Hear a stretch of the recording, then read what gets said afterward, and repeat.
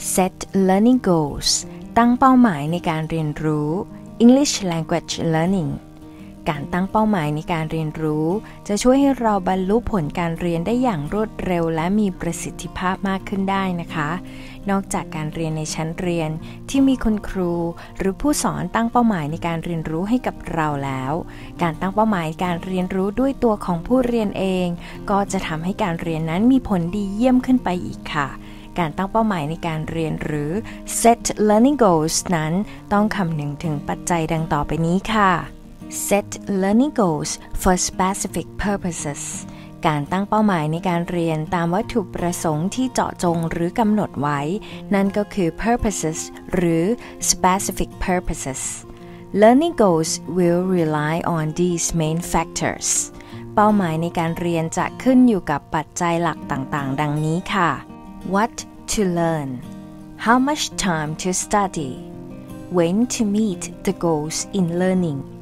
how to taste what has been learned what to learn คือเรียนอะไรดี ตั้งเป้าหมายว่าจะเรียนเรื่องอะไร หัวข้อ สาระสำคัญ ขอบเขตเนื้อหาที่เหมาะสม และครอบคลุมกับการเรียนรู้ค่ะ how much time to study เรียนกี่โมง และใช้เวลาเรียนเท่าไหร่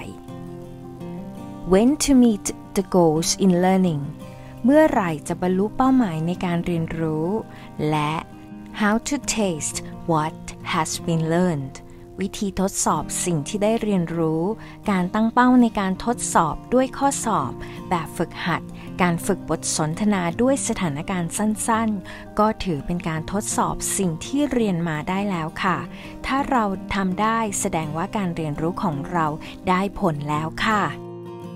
คุณสามารถคลิกลิงก์คำบรรยายด้านล่างสำหรับบทความภาษาอังกฤษจาก fluentu.com ได้นะคะ ถ้าชอบคลิปวิดีโอสามารถกดไลค์ กดแชร์ กดติดตามได้นะคะ ขอบคุณที่รับชมค่ะ สวัสดีค่ะ